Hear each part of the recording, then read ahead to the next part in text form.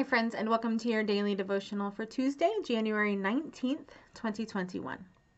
Our prayers today come from Revised Common Lectionary Prayers, published by Augsburg Fortress. And this week we are talking about listening. In the next few moments, I invite you to reflect on if you have ever been in a situation where it was clear that no matter what you said, the person to whom you were speaking was not listening. How did that make you feel?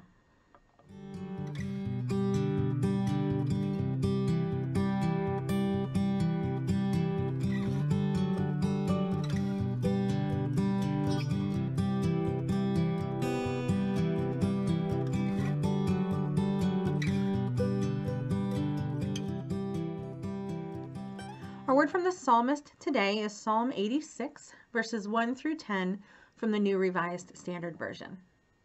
Listen now for God's word to us. Incline your ear, O Lord, and answer me, for I am poor and needy. Preserve my life, for I am devoted to you. Save your servant who trusts in you. You are my God. Be gracious to me, O Lord, for to you do I cry all day long. Gladden the soul of your servant, for to you, O Lord, I lift up my soul.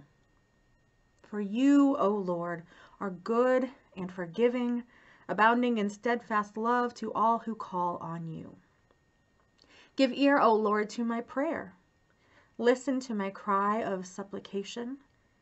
In the day of my trouble, I call on you, for you will answer me. There is none like you among the gods, O Lord, nor are there any works like yours. All the nations you have made shall come and bow down before you, O Lord, and shall glorify your name. For you are great and do wondrous things. You alone are God. Let us pray. Light of life, you came in flesh, born into human pain and joy, and gave us power to be your children. Grant us faith, O Christ, to see your presence among us, so that all of creation may sing new songs of gladness and walk in the way of peace. Amen. Our Old Testament reading today comes from 1 Samuel chapter 15, verses 10 through 31 from the Common English Bible. Listen for God's word. Then the Lord's word came to Samuel. I regret making Saul king because he has turned away from following me and hasn't done what I said. Samuel was upset at this, and he prayed to the Lord all night long. Samuel got up early in the morning to meet Saul and was told Saul went to Carmel, where he is setting up a monument for himself. Then he left and went down to Gilgal. When Samuel reached Saul, Saul greeted him, The Lord bless you. I have done what the Lord said.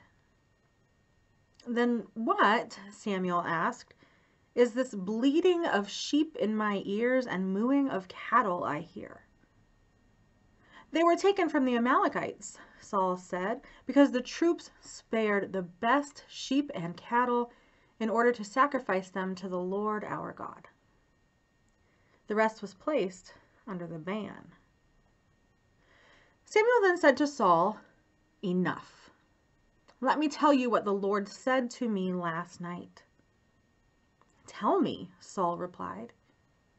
Samuel said, Even if you think you are insignificant, aren't you the leader of Israel's tribes? The Lord anointed you king over Israel. The Lord sent you on a mission, instructing you, Go and put the sinful Amalekites under the ban. Fight against them until you've wiped them out. Why didn't you obey the Lord? You did evil in the Lord's eyes when you tore into the plunder. But I did obey the Lord, Saul protested to Samuel. I went on the mission the Lord sent me on. I captured Agag, the Amalekite king, and I put the Amalekites under the ban. Yes, the troops took sheep and cattle from the plunder, the very best items placed under the ban, but in order to sacrifice them to the Lord your God at Gilgal. Then Samuel replied, Does the Lord want entirely burned offerings and sacrifices as much as obedience to the Lord? Listen to this. Obeying is better than sacrificing. Paying attention better than fat from rams, because rebellion is as bad as the sin of divination.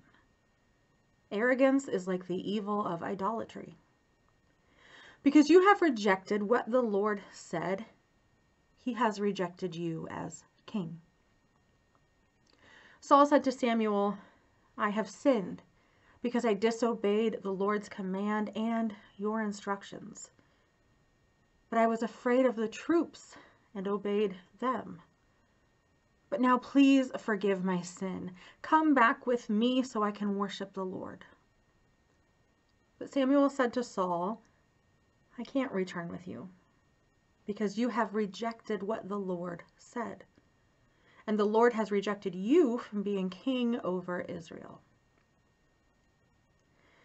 Samuel turned to leave, but Saul grabbed at the end of his robe and it ripped.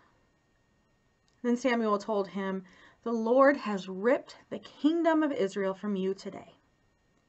He will give it to a friend of yours, someone who is more worthy than you. What's more, the enduring one of Israel doesn't take back what he says and doesn't change his mind. He is not a human being who would change his mind. I have sinned, Saul said. But please honor me in front of my people's elders and before Israel, and come back with me so I can worship the Lord your God. So Samuel went back with Saul, and Saul worshiped the Lord. Samuel tells Saul here that paying attention is better than fat from rams. In the Message Bible, Eugene Peterson paraphrases it by saying, God wants you to listen to him. Plain listening is the thing, not staging a lavish religious production. Yet, for most of us, it is much easier to put on a show than to truly listen to God. Where have you neglected to listen to God recently?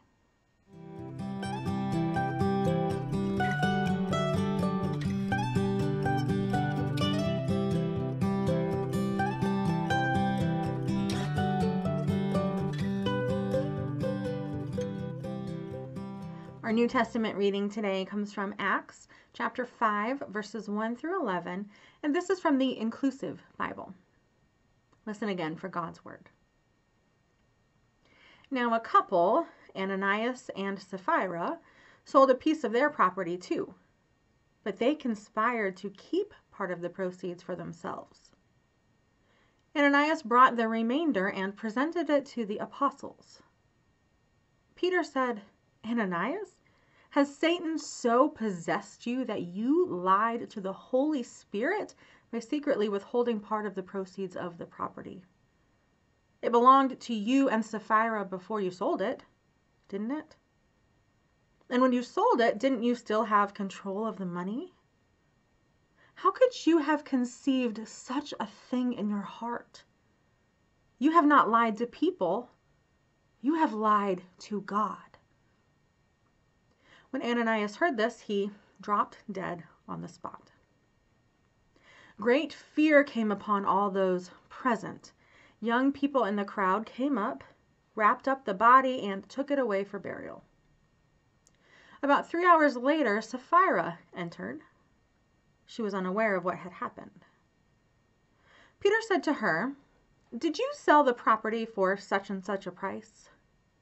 Yes, she replied, that was the price. Peter said to her, Why did you conspire to test the Spirit of our God? Listen, the feet of those who buried your husband are at the door, and they will carry you out as well. She immediately dropped dead at his feet. The young people entered and found her dead, so they carried her out and buried her next to her husband. Great fear overcame the whole church and all who heard about this incident. Friends, this is the word of God for the people of God. Thanks be to God. This story is an extreme reminder of the importance of being honest with God. Throughout your life, when have you been dishonest with God? Have you ever experienced consequences?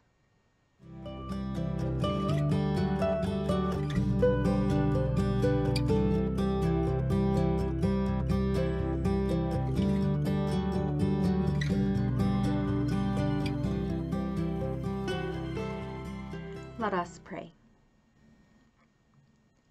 We bless you, Abba, Father, for you have visited your people in one like us in all things but sin, and in human fragility you have revealed the face of divinity.